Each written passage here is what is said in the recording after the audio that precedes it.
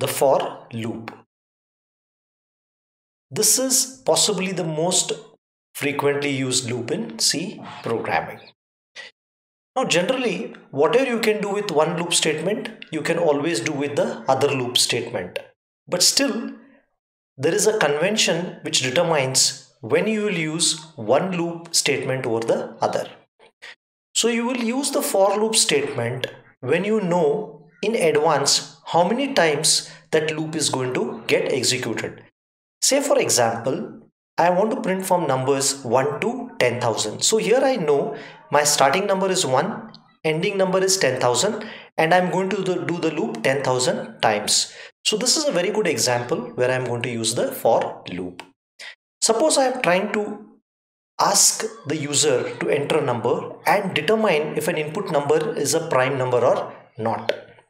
This may be a good example where I may end up using the while loop because I'm not sure at what point of time I will complete my processing to find out whether a given number is a prime number or not.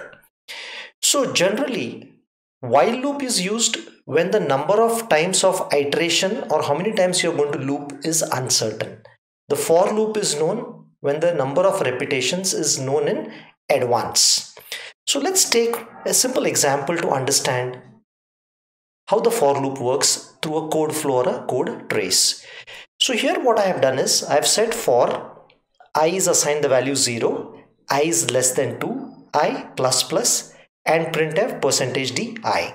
So it's going to print 0 and 1. That's what I'm going to do here.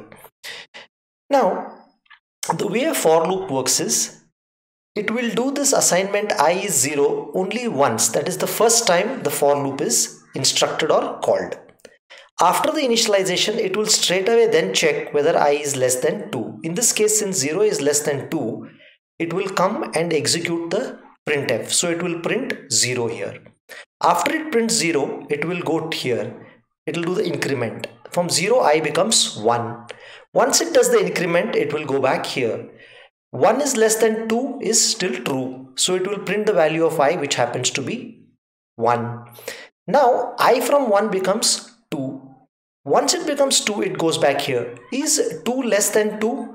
That condition is false and it will come out after this printf statement. So let's try to explore through a code trace or a code flow. So as I told you, this i is assigned the value 0 will happen only once when the for loop executes for the first time. So this is the initialization statement. Then what happens is after the initialization as I told you it will immediately do the testing at the very beginning. Suppose I was 2 here nothing would have ever been printed and you would have come out of the for loop. It will test i is less than 2. Since 0 is less than 2 what it will do is it will print the value of i which happens to be 0.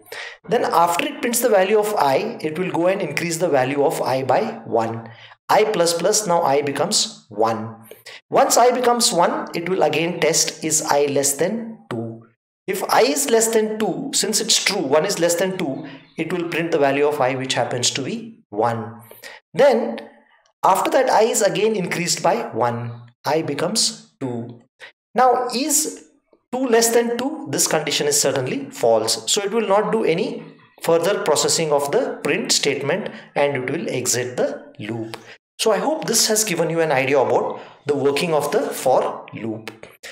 So this simple example here which follows the earlier discussion should give you a better idea of the for loop working. I have declared int main a variable i of the type short integer 0. Initial value of i is 0. As long as i is less than or equal to 10 I am printing the value of i. So it will print from 0 all the way till 10. Suppose I remove this equal to sign, the last number printed would have been 9. Since I have said less than or equal to 10, it is also going to print 10. So it will do the initialization first time, check the condition, print i as 0. Increase i by 1, i becomes 1. 1 is less than or equal to 10, so it will print 1. Then i becomes 2. 2 is less than or equal to 10, so it will print 2 this process of printing the value of i will go on again and again as long as the value of i is less than or equal to 10. The minute i becomes 11, this condition will fail and I will come to return 0. So this is going to be the output of this particular for loop. Now, if you want to know the syntax of the for loop, the for loop is generally like this okay although in place of these you can consider this as expression 1 expression 2 and expression 3 as I have shown here. But generally what we do is we do the initialization here, the condition testing here, the change increment or decrement of the control variable. Control variable is i because based on the value of i this condition is going to be true or false. So here this is a block of instructions going to get executed zero or more times. The other alternate syntax for a for loop is for expression 1 expression 2 expression 3 again 0 or more statements. Because if you see i is equal to 0 is also an expression. I less than or equal to 10 this is also an expression. I plus plus is also an expression. So you may prefer to use this or this to describe the syntax of a for loop. Now just in case you're wondering what is the difference between the while and the for loop there is really not much because anything that can be done with the while loop can 100% be done with the for loop or the for statement. Generally, when we know the beginning value and the end limit, we use the for loop. As I told you by printing 1 to 10,000 so on and so forth.